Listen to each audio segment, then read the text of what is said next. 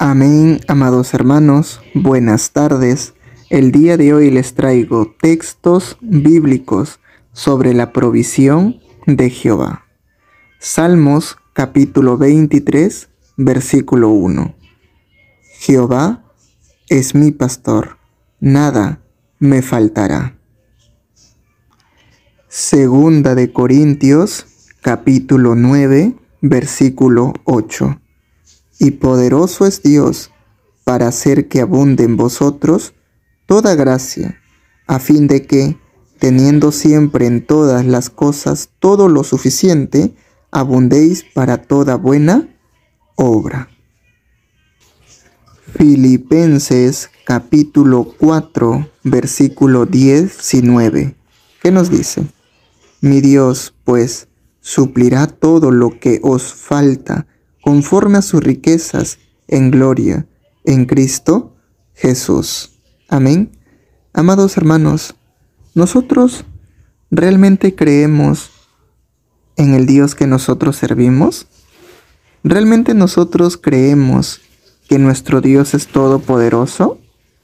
¿Realmente tú crees, amados hermanos, de que tu Dios es creador y dueño de todo lo que hay en este mundo? Del oro, de la plata, de todo? ¿Tú lo crees?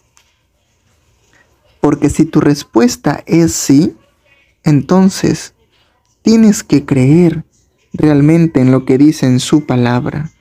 Y si ahora mismo, amado hermano, te encuentras pasando por situación de escasez, confía en tu Padre, Él va a suplir todas tus necesidades conforme a sus riquezas en gloria.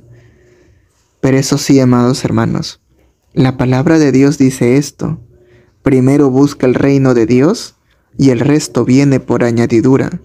Su palabra de Dios dice que Él conoce nuestras necesidades, aun incluso mucho antes que nosotros le pidiéramos.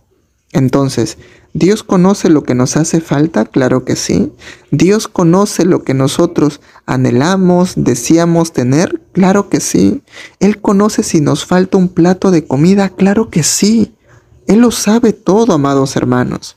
Ahora, Dios que, te, Dios que nos pide que primero busquemos su reino, que no te afanes ni te preocupes por esas cosas que no te preocupes por lo que hay que beber, que hay de comer al día siguiente. No te preocupes por la vestimenta, por nada. No te afanes por nada, porque Dios conoce nuestras necesidades, como dice su palabra. Ahora, amados hermanos, es necesario que nosotros creamos y tengamos fe en Dios para que en el momento malo, en el momento de escasez, no nos preocupemos, sino aprendamos a confiar en Dios cada día más. Porque es así. Nosotros tenemos que vivir dependiendo de Él. Él nos va a suplir. Él nos va a proveer. Él nos va a dar un trabajo si es que no tenemos. Un trabajo bueno, un trabajo de acuerdo por la cual nosotros no nos podamos apartar de sus caminos. Porque muchas veces estamos en trabajos y, no nos da el tiempo, no nos da la hora para poder ir a su casa para poder alabarle, no nos da el tiempo para poder lecturar su palabra, no nos da el tiempo para poder orar, para poder ayunar, y Dios no quiere eso. Dios quiere que nosotros crezcamos en las dos formas, tanto espiritualmente como económicamente. Dios quiere ambos, pero su palabra dice, no hagas tesoro en la tierra sino haz tesoro en los cielos.